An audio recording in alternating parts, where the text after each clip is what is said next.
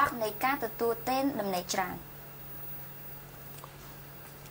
ជាទូទៅមនុស្សចូលចិត្តគេងឲ្យបានយូរជាពិសេសនៅពេលព្រលឹម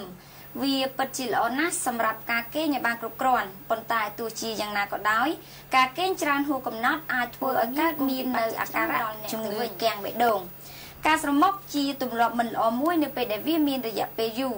វាធ្វើឲ្យមានបញ្ហាផ្នែកបេះដូងបើតាមការពន្យល់របស់ Medline Plan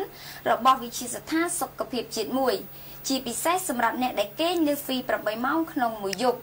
គឺអាចមានហានិភ័យខ្ពស់ដោយសារការឈឺទ្រូងនិងជំងឺសរសៃឈាមទី2គឺធ្វើឲ្យអ្នកឡើងទម្ងន់និងជំងឺទឹកនោមផ្អែម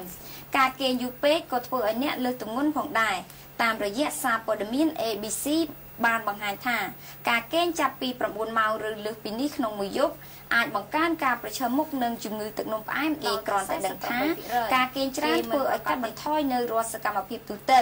ហើយបណ្ដាលឲ្យអ្នកឡើងទម្ងន់និងកើតមានជំងឺទឹកនោមផ្អែមប្រភេទ2អ្នកក៏អាចកាត់បន្ថយផងដែរនៅការគេងនៅការដាក់ជាម៉ោងរោឲ្យគ្រប់8ម៉ោងរួចចំណាយពេលក្នុងការហាត់ប្រាណឬលេងកីឡាជំនួសវិញ។